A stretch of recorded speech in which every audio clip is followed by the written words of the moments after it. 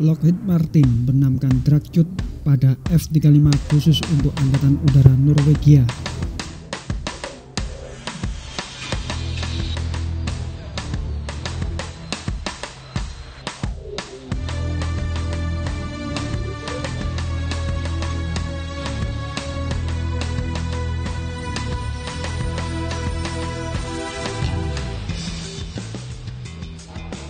Ini bukanlah pasukan pengaman orkes atau yang biasa disingkat Pas Pampres, akan tetapi ini adalah pasukan khusus kerajaan Norwegia yang sedang mengamankan pengujian pendaratan F-35A di landasan pacu pendek dan bersalju.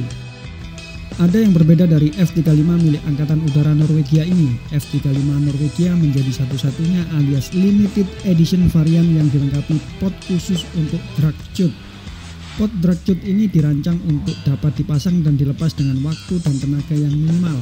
Adapun pot berisi sistem dragcut ini bertujuan dengan cepat memperlambat F-35A setelah mendarat di landasan pacu yang pendek dan dingin alias bersalju. Pot dengan bentuk kecil dan aerodinamis ini ditempatkan di bagian permukaan atas antara stabilisator vertical centered Inilah yang membedakan F-35A milik Angkatan Udara Norwegia dengan F-35 lainnya. Pot ini dirancang mampu meminimalkan efek pada penampang radar dan memastikan pesawat mempertahankan karakteristik siluman saat terbang.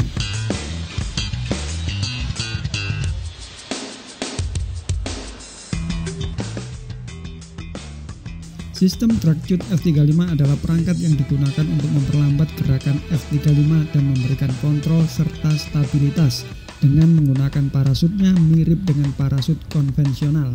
Parasut ini menciptakan hambatan aerodinamis yang juga dikenal sebagai hambatan udara Dragchut F-35A menggunakan kekuatan angin yang mendorong ke arah yang berlawanan dari gerakan pesawat agar pesawat bisa mendarat dengan aman di landasan pacu yang pendek, basah maupun dingin bahkan suhu minus. Untuk mengaktifkan sistem Dragchut ini, pilot F-35A hanya butuh menekan tombol saklar ke atas di sisi kiri atas panel instrumen Saklar ini akan mengaktifkan aktuator hidrolik dan membuka pot untuk mengembangkan parasut yang terbuat dari bahan aramid atau yang biasa dikenal dengan nama Kevlar. Setelah pesawat melaju dengan lambat, pilot akan dapat mengaktifkan kembali tombol saklar yang sama ke arah bawah untuk melepaskan parasut dragchut saat pesawat berhenti.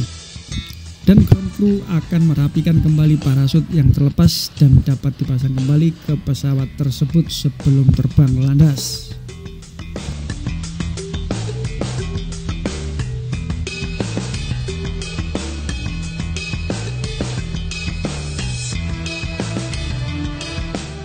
Ini Norwegia kenapa nggak beli F35B yang bisa terbang lepas landas secara vertikal aja ya? Malah membeli yang F35A tapi dimodifikasi dengan menggunakan dragchut atau parasut. Apa karena duitnya nggak cukup atau masih ragu-ragu dengan kualitas F35B yang kerap celaka meskipun bisa terbang lepas landas secara vertikal?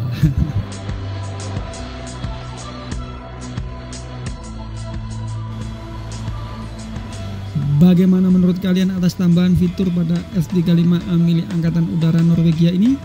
Silakan torehkan kata bijak kalian pada kolom komentar di bawah ini sambil menikmati bakso Pak Soleh di Bandungan, Magelang.